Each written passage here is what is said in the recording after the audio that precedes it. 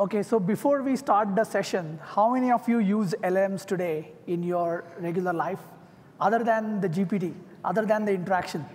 You actually use in your applications to build applications? Uh, how many of you have heard about RAG? Oh, Most good. of you. Perfect. So this is a perfect stage for uh, this session. Uh, well, my name is Madhav Sathe. Uh, today we're going to talk about Brag Your Rag with the MLOps swag.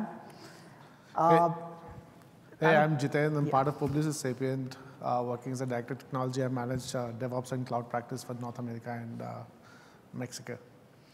Yeah, and uh, yeah, I said uh, I work at Google Cloud. I'm a principal architect for financial services focused on banking and capital markets.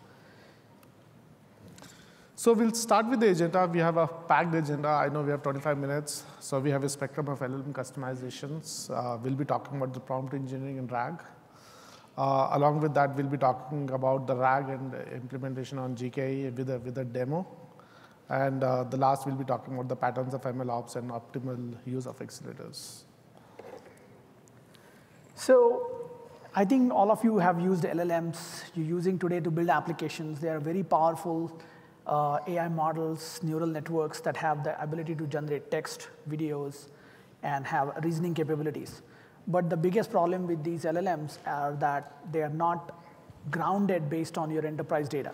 So for any meaningful use within your enterprise, you need to have some mechanism of training or giving information or grounding the LLMs with the enterprise data with which you can build your business applications.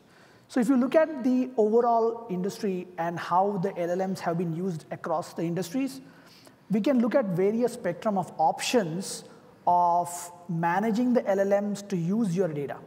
Starting with the prompt engineering is one of the most uh, interesting skill that will be adopted widely across industries, no matter in what shape and form you use LLM and how you customize. Prompt engineering is going to be the, the basis for using LLMs going forward. Uh, after that, we have RAG, which is retrieval augmented generation. That will not exactly tune the model, but it will give you the grounding basis with your enterprise data to the model. So your model will not hallucinate as much, or it will not hallucinate essentially. If you have a large enough data set, it will not hallucinate. Now, most of these enterprises will basically uh, use these two options on a more regular basis, and we already see adoption of RAG uh, for enterprise uh, applications. Beyond that, if you are serious about uh, going beyond RAG, then you will have to start thinking about tuning the model itself. And there are a couple of options for tuning the model. One is parameter efficient uh, fine tuning, and other one is a full tuning, right? Both of these, both of these techniques involve uh, essentially a large computation resources, uh, large amount of data that could be uh, that could be labeled or supervised data as it is called in traditional machine learning. And after that, you have the uh, ultimate pre-training where you actually build up new models itself. So if you look at the complexity on one side and the cost of ownership on the other side, they're actually tuning will actually cost you a lot of money. It also requires tremendous amount of skills to help you achieve that, right? So uh, if you look at the spectrum, most enterprises will typically be using prompt engineering and RAG. So we'll talk about the prompt engineering and RAG. Uh, you know, um, so what is prompt engineering? Uh, you know, Madhav asked this question to everybody, and everybody said that most of the people have been using prompt engineering, right? Nowadays, we, we call it an art and science. The art and science because you the, the kind of prompts that you provide, the kind of feeds that you give uh, as an input, you get the results based on the input that you provide. You keep learning on it. Maybe you you know you give one shot, or maybe you, you give you know a chain of thoughts around it. But better the inputs are available as part of the prompt, the better the output that we get from the LLM as a response part. So if you look at the RAG, we can break it down in three phases. The first phase, you can call it pre-processing. This is where you bring in your enterprise data, and you have a process or you have a pipeline that is essentially going to break down the data in smaller chunks. That smaller chunks, with those chunks, you will use an embedding model to create vectors, and that will be stored in the vector database. So this chunking, there are strategies around how to chunk it, what should be the chunk size, what embedding model to use, where should they run, there are strategies around it, and some of those uh, patterns we are going to look at during the next slides. Uh, the second part comes as the retrieval part. After the chunking is done, basically user provides an input, you know, use the same vector database that where the data is available. And the vector database based on the chunk and the kind of, uh, you know, um, request that is put in, we, we get the, the, the augmented uh, generations coming as a response using the LLMs. After the chunking, after the initial part of the pre-processing, after the chunking, the final result that comes, basically we use model inference to get the output. Now we talked about the first two aspects, which is the prompt engineering and RAG.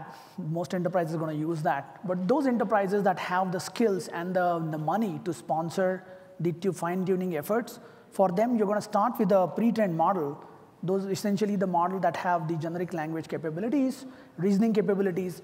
But with that, you're going to use a supervised fine tuning. You're going to bring a lot of enterprise data that is labeled, right? And with that data, you're going to fine tune the model. Now, there are a couple of options we discussed in that spectrum. One is a PEFT, and other was a full fine tuning. And full fine tuning is going to be even more expensive, more complex, and more expensive to uh, actually train as well as to run. Uh, PEFT models, on the other hand, there are smart ways to actually capture uh, the freeze the model, the base model, and you can have a LoRa adapter layer on top of it, which basically adds some extra parameters that are trained based on the data. So when you actually run the model, you're not going to have the difficulty of running multiple. Uh, so you can each each uh, LoRa layer can be fine-tuned for a specific task. For example, you can use one LoRa layer for summarization, other one to classify documents, or the other one to generate text or images uh, based on your enterprise data. So we'll start with the data, uh, uh, the demo basically, uh, and for the demo specifically, we used an open source product called uh, Canopy, and we used uh, you know basically a, Pinecone database. So Canopy is nothing but a package, you know, a web service or a library can, we can, which can use to build your own custom applications. Basically, it has three sections, uh, the knowledge base, context engine, and uh, the Canopy uh, chat engine. The knowledge base, whatever we've been speaking about, actually prepares your data you know, for the RAG workflow. It automatically chunks and transform your text data into you know, text embedding. Um, the context engines is basically your retrieval part. Uh, whatever the data that you got in the knowledge base as part of you know, the chunking it is able to you know, find the most of the relevant data from, from as part of the context engine. The last is uh, the Canopy chat engine, which is the full RAG workflow. Uh, it understands your chat history, it understands your identifies multiple questions, it generates the answer based on the LLM, and then embeds and, and provides the query results that, that you look for. With Canopy, the, uh, the, what we found as a challenge was it is very much working with Pinecone. Uh, you know, if you're not using Pinecone, then Canopy may or may not be a relevant use case. Uh, but we really wanted to show you something how Canopy and Pinecone can be used just to, for a small application that we have built on as part of the demo. Give us one second, we'll share the other screen and uh,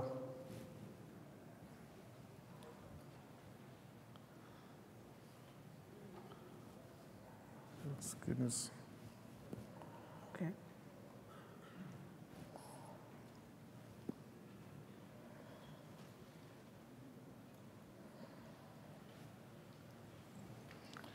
So in this application, basically, we developed three kind of applications, one with the LangChain and Pinecone. The other application that we built is with Canopy and Pinecone. The third one is we did not use any, any of the vector database. We just used uh, open source LLM to fetch the data on a specific results.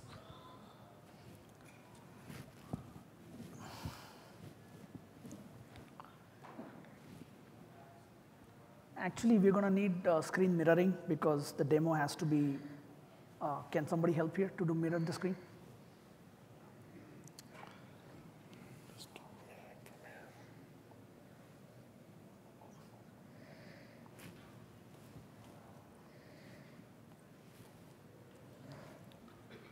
Uh, for just, just an information, uh, as part of this demo, uh, we went to a Wikipedia page of, uh, you know, uh, 2024. Go back to uh, the screen mirroring. right? yeah.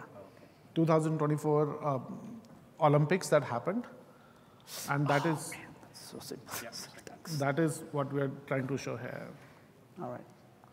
Thanks for that. Uh, live demos, technical glitch. Uh, all right. So we got three different screens here. So Jiten, you said the LLMs are so powerful that they know everything, right? Yeah. So can you tell me when was the last Olympics? Why didn't you try yourself? Okay. You have the system available. Just try, see what you get.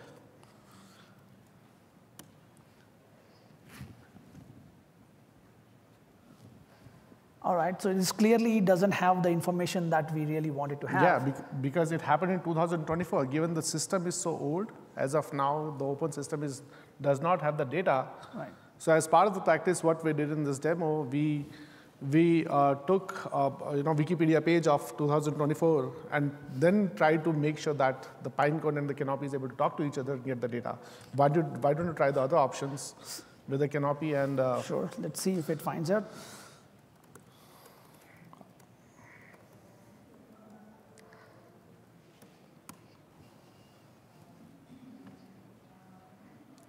All right. So it looks like not only gave the correct answer, it also found the source uh, based on which that answer was provided, right?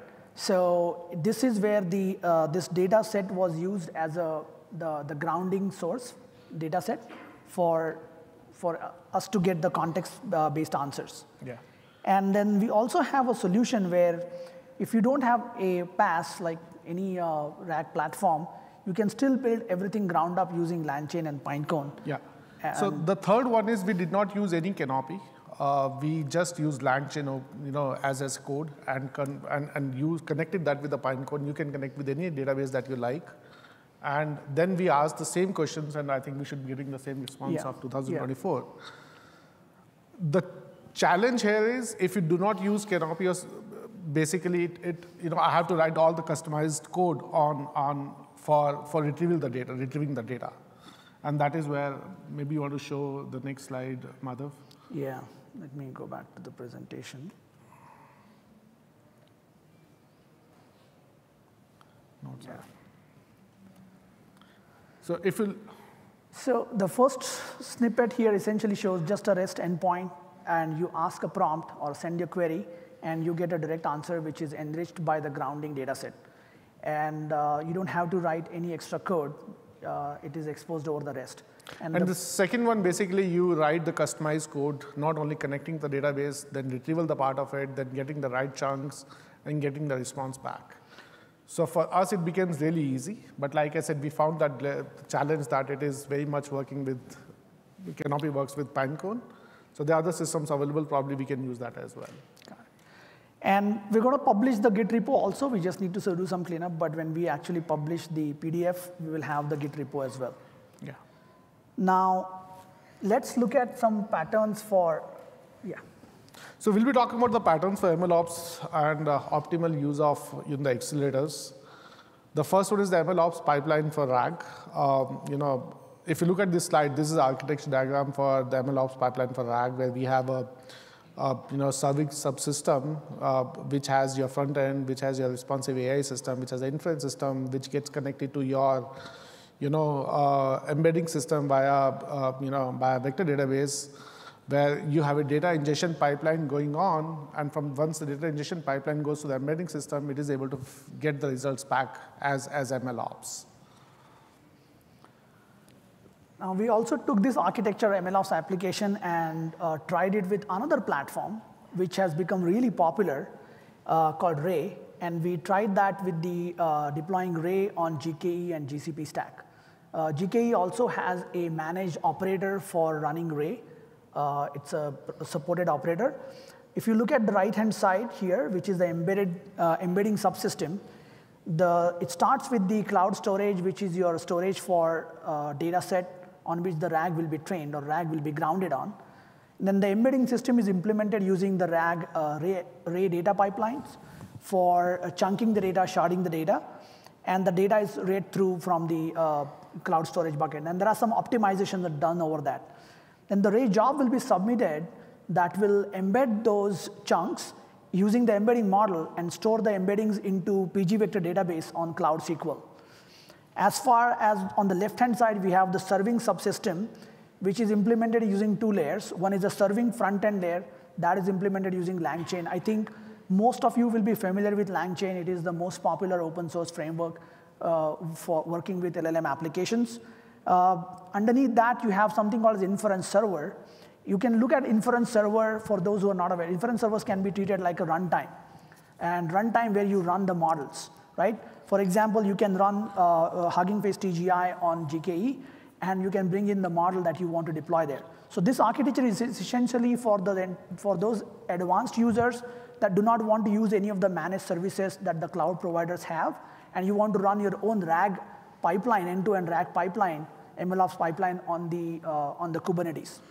Now, we also have taken advantage of uh, sensitive data protections and some extensions that the uh, GCP has. We'll talk about that in the patterns later on. Uh, let's take a closer look at the embedding subsystem. On the right-hand side, you see here, there's a Ray cluster that is running on GKE, and it has two parts to it. Ray cluster will typically have two parts. One is a head node or head part, and another is a worker part. And uh, on the, the below, you have your embedding model that is going to run on, on GPUs, are going to run on GPUs. That is also deployed on the potentially the same cluster. Uh, and your grounding data set is sitting in the GCS bucket. The, the Ray cluster is going to read the data using something called a GCS fuse. We're going to talk about that shortly after this slide but essentially is going to get the data from the data set, the data set from the GCS bucket, uh, broke them down into chunks, and embed each of the chunks and store that into the vector database. The Jupyter pod you see there is just uh, there to kind of initiate that whole process. Now, when you're talking about this embedding, right, or RAG, whether it is RAG or fine-tuning the model, uh, in case of RAG, your grounding data set is going to sit in that uh, cloud storage bucket or your object storage, or in case of tuning, the whole data set, massive amount of data sets will be sitting in that, in that GCS uh, or object storage. Now, when you talk about reading the or training the models based on that, you're going to load all that data into the disk and then start the training process or start, start the fine tuning or embedding process. So until the data is loaded, that GPU is wasted. It's a very expensive resource, yeah. right? GPU, TPUs are accelerators that are extremely expensive resource. So how can you make optimal utilization during your tuning or embedding process? Uh, you can use something like as GCS Fuse, where ideally you start, you start streaming the data from the object storage and start the training process or tuning process as soon as the data starts arriving. And that is something that the feature that uh, ground up GCP provides, uh, it's called GCS uh, Fuse. It gives you the file system semantics for the developers and the data starts uh, streaming and you can start training the job right away. And so basically, just like Madhav mentioned, right, GCS Fuse. So it for any, any cloud platform in, in that sense, we need a scalable and affordable storage for any pre-processing, any model weights, or even for the checkpoints.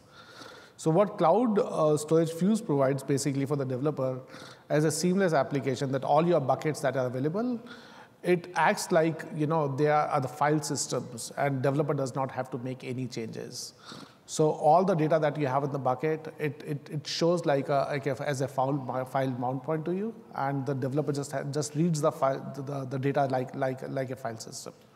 It doesn't have to make any changes. Of course it, it is a csi provider and it's a cache for repetitive uh, you know reads as well which helps reducing the cost also. Now the uh, uh, other part, which is this diagram is a little intense. So uh, I will first of all talk about why this is required.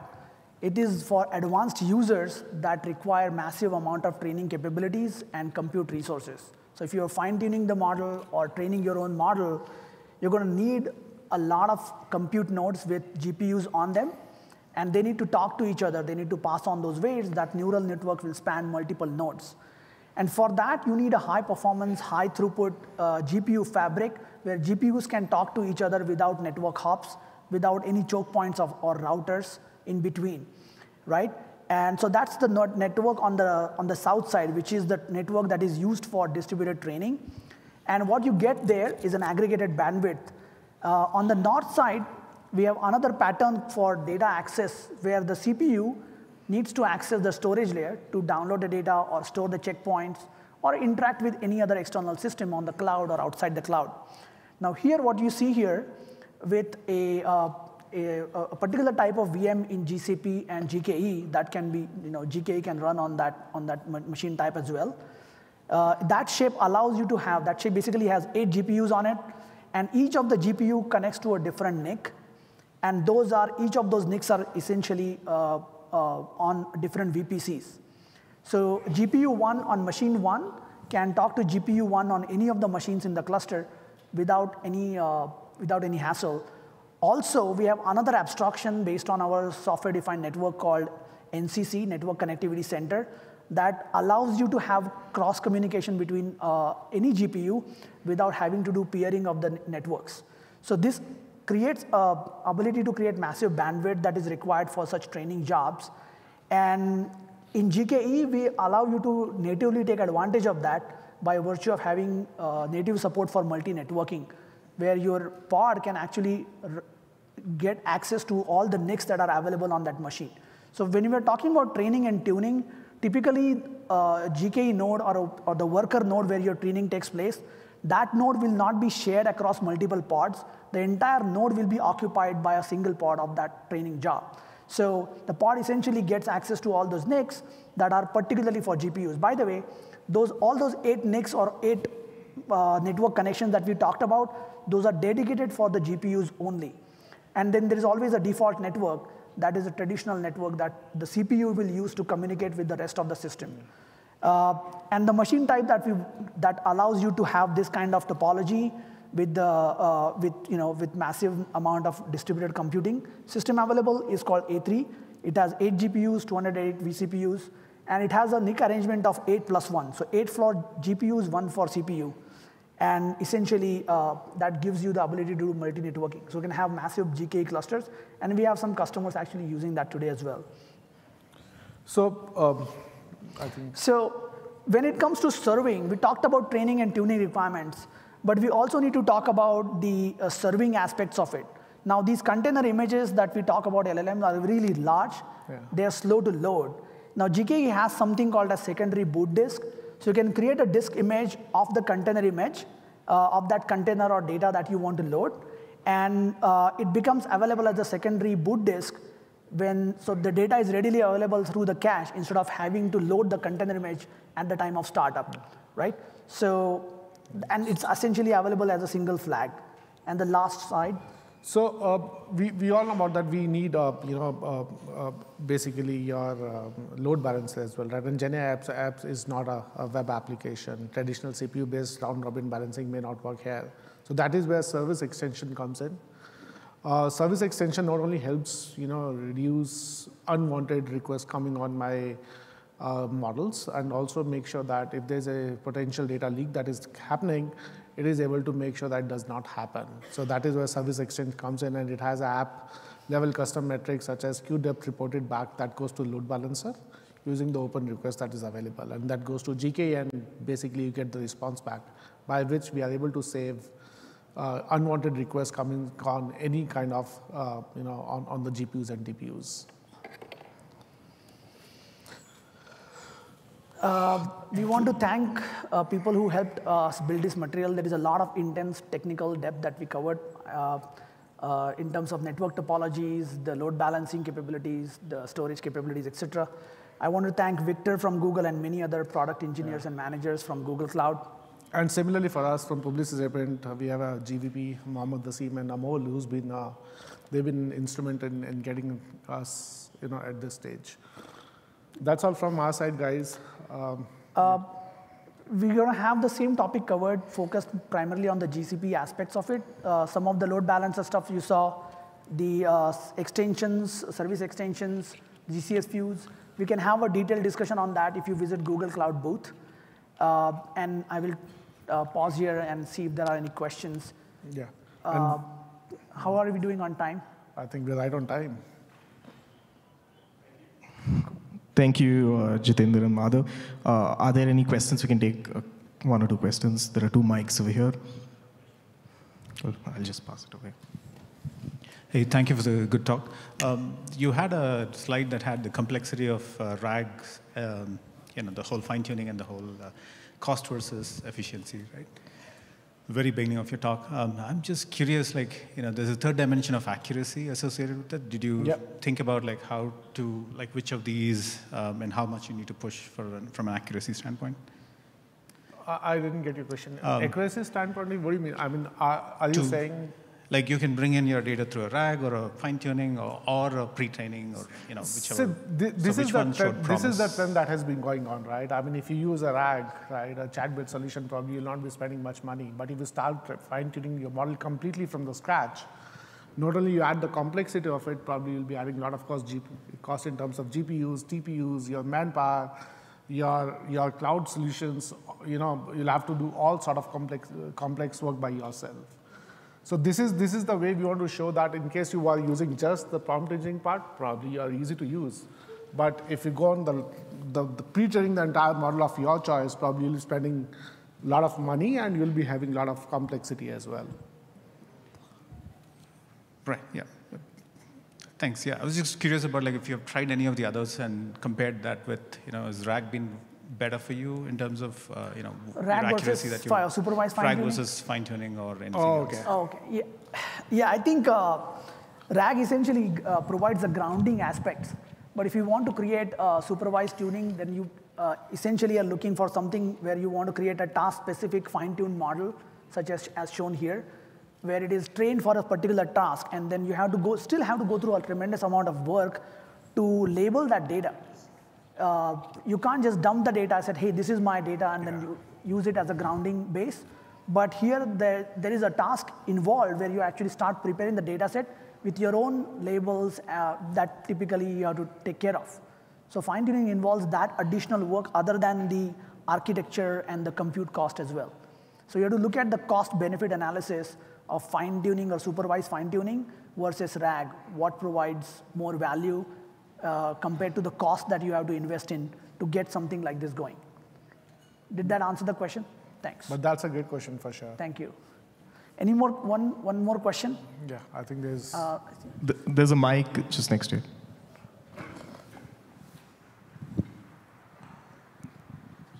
Yeah, so my question is on the same slide uh, that you showed last.